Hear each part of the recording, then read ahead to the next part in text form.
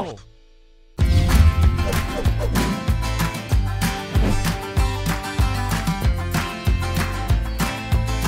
Mga kapuhunan, nandito po tayo ngayon sa Singapore dahil malalaman po natin ang kwento ng isang Pinoy chef na nagtayo ng kanyang business para syempre irepresenta ang bansang Pilipinas dito sa Singapore. Tara, tikman natin ang kanyang mga creations.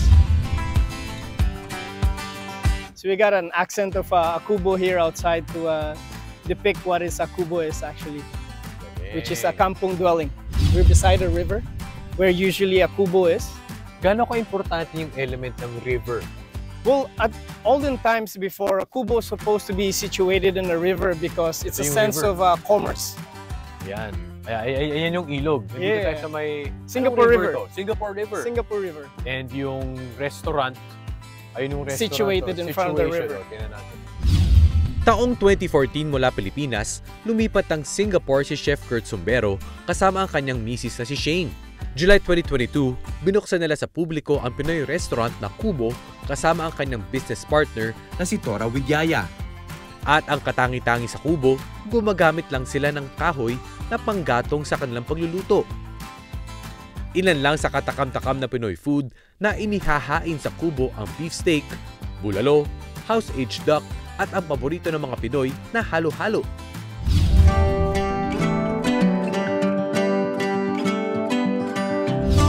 Kapansin-pansin sa interior design ng Kubo Restaurant ang disenyong Pinoy.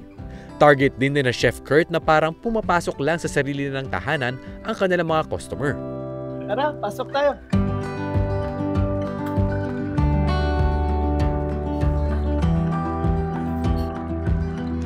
So here it's uh, one of our uh, dining magic is that uh, we have this uh, olden uh, spoon and fork. Usually you see this in olden house in the Philippines. Hmm? And then in the middle is actually ati-atihan, where is uh, my uh, heritage comes from.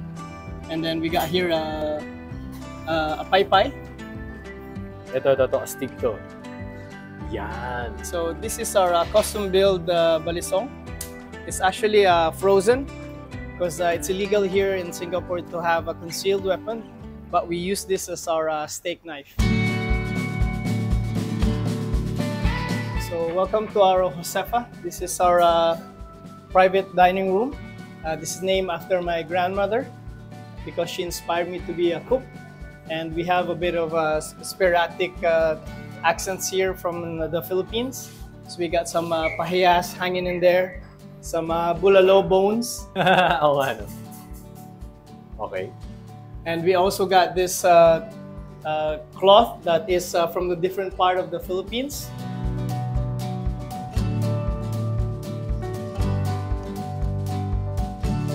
Tara, pasok sa kusina. Okay. Ito na. Kitchen tour sa Kubo.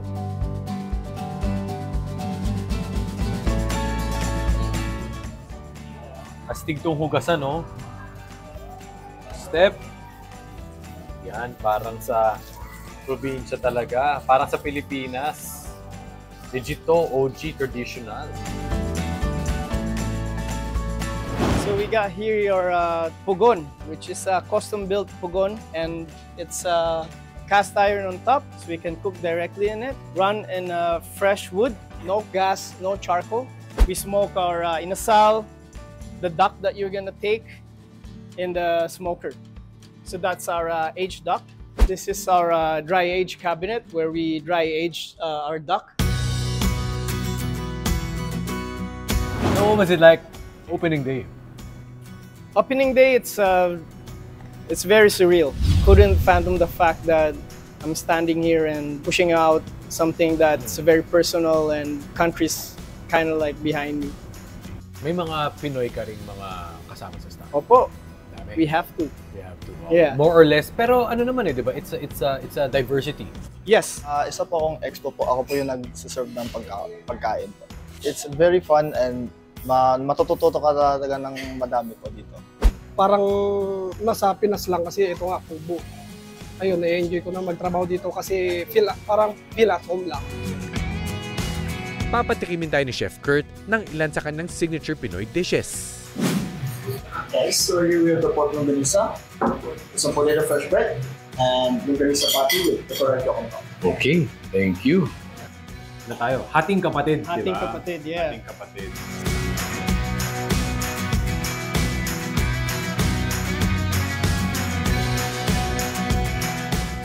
Sarap. Legit.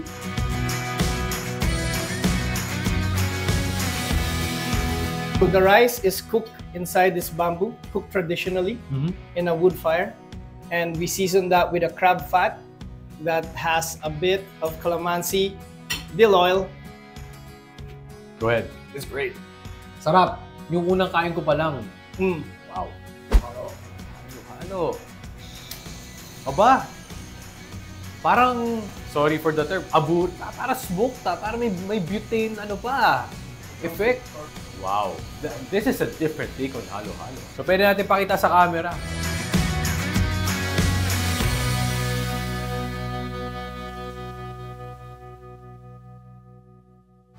Puhunan ay hindi lang salapi Napakaraming paraan, huwag kang magmadali Kung di mo susubukan ay hindi mo malalaman Tandaan na hindi sumusuko my dream as a cook is to uh, share a little bit more of our uh, of our culture, and with that, uh, spark a bit of uh, interest on freedom, and making sure that our cuisine moves forward. Ano masasabi mo ang ano, puhunan ng kubo?